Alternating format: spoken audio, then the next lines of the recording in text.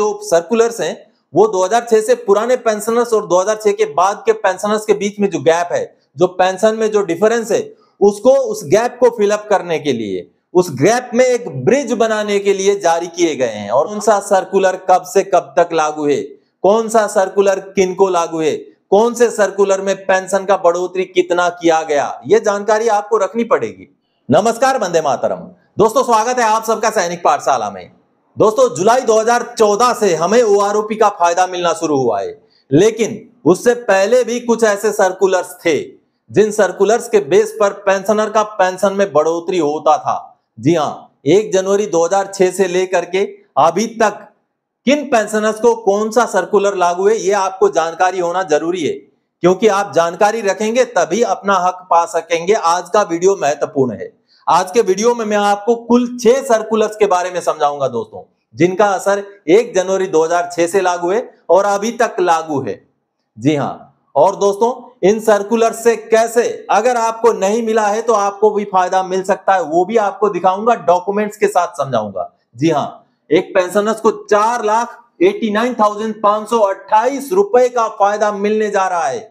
जी हाँ आप जैसे ही एक पेंशनर हैं।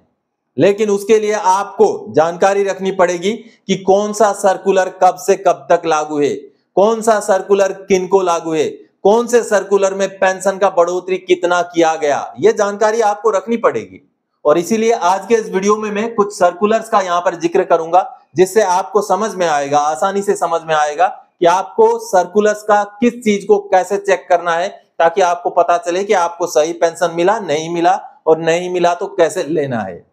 तो चलिए, आगे बढ़ते हैं। जैसे बोर्ड में मैंने नोट करके रखा हुआ है, सबसे पहले सीपीपीसी ने निकाला चार लाख एटी नाइन थाउज़ेंड पाँच सौ अट्ठाईस का बकाया प्री 2006 के पेंशनर का एलटीए जी हाँ लाइफ टाइम एरियर दोस्तों, खास करके जो सर्कुलर्स हैं, वो 2006 से पुराने पेंशनर्स और 2006 के बाद के पेंशनर्स के बीच में जो गैप है, जो पेंशन में जो डिफरेंस है, उसको, उस गैप को फिलअप करने के लिए। उस गैप में एक ब्रिज बनाने के लिए जारी किए गए हैं। और खास करके ये जो ऊपर वाले तीन सर्कुलर हैं सर्कुलर 568, सर्कुलर 5430 और सर्कुलर 501 ये सर्कुलर्स हैं जो प्री 2006 के पेंशनर्स को ही लागू हैं केवल। उसके बाद जो सर्कुलर हैं 555, 570 और 666 ये सभी के लिए लागू हैं। तो आज के इस वीडियो में इन्हीं सर्कुलर्स का वैलिडिटी डेट हम पता करेंगे कि कब से कब तक उनका पीरियड है। और आपको किस तरीके से चेक करना है? आगे सर्कुलर्स भी सारे के सारे आपको दिखा के समझाऊँगा दोस्तों। चलिए, सबसे पहला पॉइंट है पीसीडीए के सर्कुलर्स प्री 2006 और पोस्ट 2006 के गैप को पूरा करने के लिए। जी हाँ यह सर्कुलर्स का मेन मकसद ही यही था कि पुराने पेंशनर्स 2006 से पुराने पेंशनर्स को फ़ायदा दिया जाए। उनको 2006 के बाद वालों के साथ लाया जाए। इसी उद्देश्य से ये सर्कुलर जारी किए गए थे, जिसमें सबसे पहला सर्कुलर था 568 सर्कुलर जी हाँ। और इस सर्कुलर का असर था दोस्तों 1 जनवरी 2006 से लेकर के 30 जून 2009 तक का जो पेंशन है, वो आपका 568 सर्कुलर के हिसाब से बनता है। अगर आपको 568 के सर्कुलर के हिसाब से नहीं मिला है तो मिल सकता है। 568 सर्कुलर का एरियर बहुत सारे पेंशनर छूटे थे, जो पिछले छह आठ महीने में बहुत सारों को मिला भी है। तो आपको भी चेक करना चाहिए। आगे मैं सर्कुलर्स पूरे दिखाऊँगा, ये जितने भी सर्कुलर्स है, वो पूरे दिखा के आपको समझाऊँगा। और ये लागू है दोस्तों 2006 से पुराने पेंशनर्स को, केवल प्री 2006 के पेंशनर्स को, और एक्यूरेटली किन को लागू है उसको समझने के लिए आपको सर्कुलर ज़रूर पढ़ना चाहिए। महत्वपूर्ण सर्कुलर है। अगला सर्कुलर 430 ये सर्कुलर 430 ये लागू है दोस्तों 1 जुलाई 2009 से, क्योंकि ये 30 जून 2009 तक इसका असर खत्म है। आगे 1 जुलाई 2009 से लेकर 23 सितंबर 2012 तक सर्कुलर 430 का असर लागू है। अब यहाँ पर बहुत सारे कहीं सवाल करेंगे कि डिफेंस सिविलियन के लिए कौन सा लागू है? इसके बीच में डिसेबिलिटी एलिमेंट के लिए कौन सा लागू है? उसके बीच में भी और भी सर्कुलर्स हैं, लेकिन जो मूल मूल सर्कुलर्स जिन सर्कुलर्स में ज़्यादातर पेंशनर कवर होते हैं, उनको मैं यहाँ लेके आया हूँ। तो सर्कुलर 430 जो कि जुलाई 2009 से लेके सितंबर 2023 सितंबर 2012 तक लागू है और ये भी प्री 2006 के पेंशनर्स को ही लागू है। इसके बाद अगला सर्कुलर है दोस्तों सर्कुलर 503 हालाँकि ये सर्कुलर कुछ ऐसे हैं जो पहले ये निकला, उसके बाद ये निकला, लेकिन इनका जो लागू होने का डेट है, कब से लेकर कब तक के पेंशन को ये सर्कुलर्स बढ़ाते हैं, उस सीनियरिटी में मैंने इनको यहाँ लिख रखा है। तो दोस्तों 501 नंबर सर्कुलर जो 24 सितंबर 2012 से लागू होता है, जिसकी बढ़ोतरी, और ये 30 जून 2014 तक इसका बढ़ोतरी लागू है। 30 जून 2014 क्योंकि 1 जुलाई 2014 से फिर ओआरओपी वन का सर्कुलर लागू हो जाता है, जो सर्कुलर है 555 अब ये जो तीन सर्कुलर थे, ये तो केवल और केवल 2006 से पुराने पेंशनर्स को ही लागू हैं।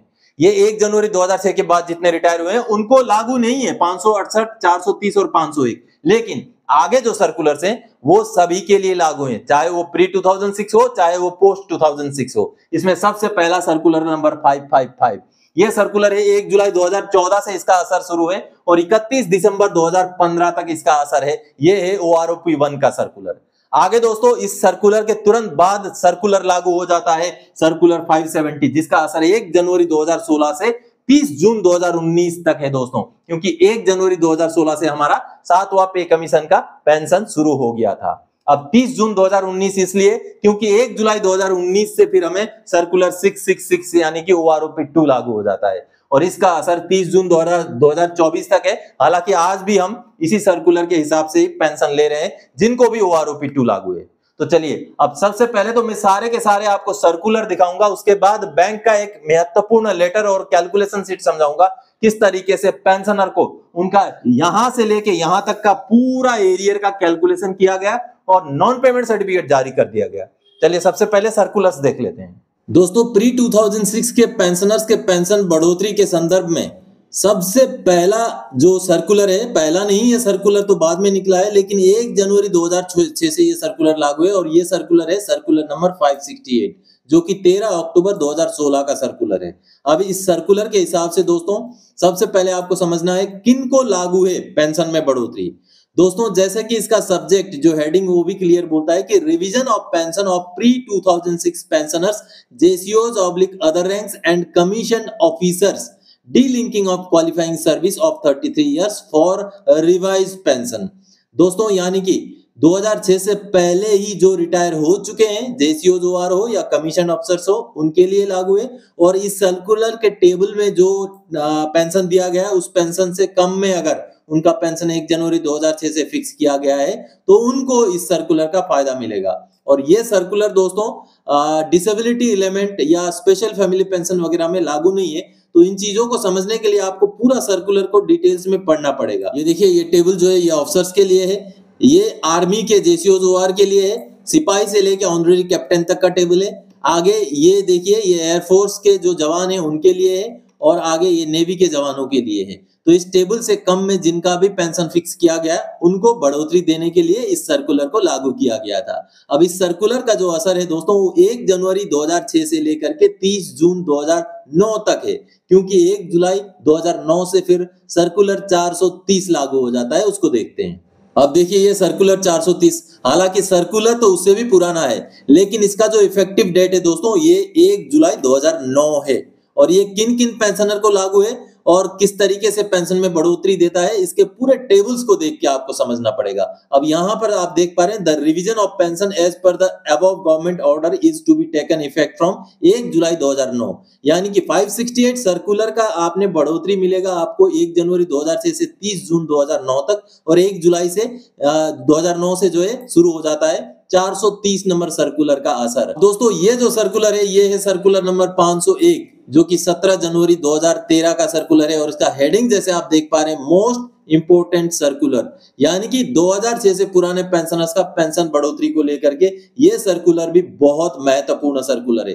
अब इस सर्कुलर को मैं किस किस को पेंशन में बढ़ोतरी मिलेगी, वो सारी चीज़ें इसमें लिखी गई हैं और ये सर्कुलर जो है दोस्तों लागू है 24 सितंबर 2012 से। और चौबीस सितंबर 2012 से लागू है किन को लागू ये देखिए, सबसे पहले ये तीन नंबर पैराग्राफ में आप देख पा रहे हैं will be effective from 24 September 2012 applicability किन को एप्लीकेबल है? Service pension special pension ordinary pension invalid pension service element of disability pension और किन को नहीं लागू है ये सारी चीज़ें पूरा समझने के लिए आपको पूरा सर्कुलर को पढ़ना पड़ेगा। दोस्तों, ये सर्कुलर 555 है, यानी कि O R O P one का सर्कुलर है। अब इस सर्कुलर में बहुत ज़्यादा समझने को है नहीं।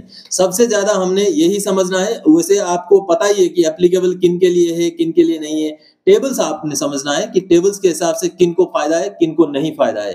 तो इस सर्कुलर का जो असर था दोस्तों, ये ओआरओपी वन का सर्कुलर है। इस सर्कुलर का असर था जुलाई 2014 से लेके 31 दिसंबर 2015 तक। क्योंकि 1 जनवरी 2016 से फिर सातवां पे कमीशन लागू होने की वजह से सर्कुलर 570 आ जाता है, उसको देखते हैं। अब दोस्तों, ये है सर्कुलर नंबर 570 और सभी के सभी पेंशनर्स को सर्कुलर नंबर 570 लागू था। सातवां पे कमीशन का ये सर्कुलर है, जिस सर्कुलर के बेस पर हमारा पेंशन में बढ़ोतरी की गई थी। और इस सर्कुलर का सीधा सीधा हिसाब किताब था। आपका जो भी पेंशन 31 दिसंबर 2015 के डेट में था, उस पेंशन को 2.57 का मल्टीप्लीकेशन दे दिया गया। अब यहाँ पर आपको दिखाता हूँ, ये देखिए, तेरह नंबर जो पैराग्राफ है, यहाँ पर यही चीज़ क्लियरली लिखा हुआ है कि ये देखिए, जो भी बेसिक पेंशन आपका एज ऑन 31 दिसंबर 2015 में था। Will be multiplied by 2.57 to arrive at revise pension as on 1 January 2016 यानी कि दोस्तों 31 दिसंबर 2015 के डेट में जितना भी आपका पेंशन था उसी को 2.57 का मल्टीप्लीकेशन करके 1 जनवरी 2016 का आपका पेंशन को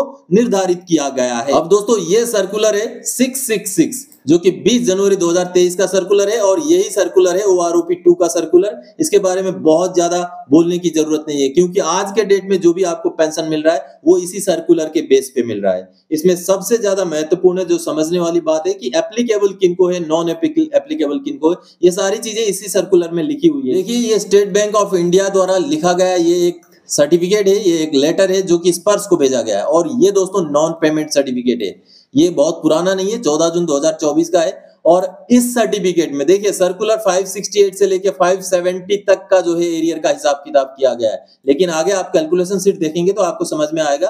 हालाँकि 568 से लेकर के 430 से लेकर 501 555 570 और छह सभी सर्कुलर्स को इंक्लूड करके इसका कैलकुलेशन सीट बनाया गया है। और जैसे आप यहाँ पर देख पा रहे हैं बैंक ने क्लियर बोला है with reference to SBI Mandwada, dated 16 April 2024, it is clarified that Srimati Nati Devi is drawing her pension through SBI account number so and so, and she was not paid area of revised pension four lakh eighty nine thousand five twenty eight with effect from 1st January 2006 to 31 July 2023 as per PCDA circular 568, 555 and 570. The copy of due drawn statement is attached herewith for your reference.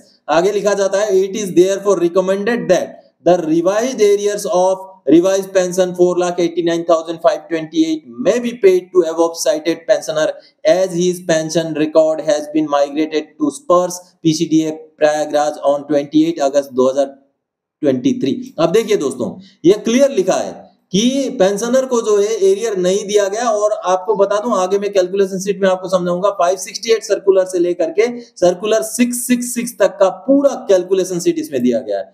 ये calculation seat देखिए दोस्तों, पूरा एक जनवरी 2006 से उनका pension में calculation किया गया ये देखिए, नथी देवी जी का है। और इस कैलकुलेशन सीट में ये देखिए, एक जनवरी 2006 से जो उनको मिला था, ये देखिए, ये जो उनको मिला, ये गलत मिला था। जो उनको मिलना चाहिए था, ये मिलना चाहिए था। इसी का जो डिफरेंस है, उसको यहाँ पर दिखाया गया ये देखिए।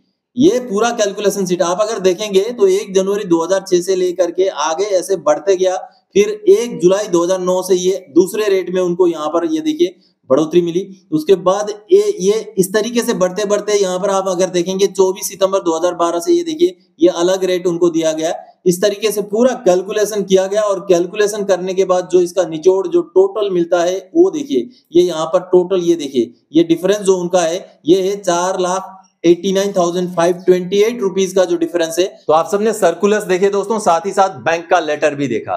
तो इस तरीके से अगर इन इन सर्कुलर्स के हिसाब से इस इस पीरियड का अगर आपको पेंशन नहीं मिला है तो आप सर्कुलर को देखिए। सर्कुलर्स को पढ़िए। आपको सर्कुलर्स इंटरनेट में भी अवेलेबल होंगे। और अगर कोई सर्कुलर इनमें से आपको ज़रूरत है तो आप मुझे ईमेल कीजिए। उस ईमेल में मैं आपको सर्कुलर ज़रूर भेज दूँगा दोस्तों। तो दोस्तों, आज के इस वीडियो में इन्हीं जानकारी के साथ आया था। आगे और कोई जानकारी तक आपसे सरकार रखने वाला विषय लेके मैं फिर से हाजिर हो जाऊँगा। तब तक के लिए जय हिंद दोस्तों।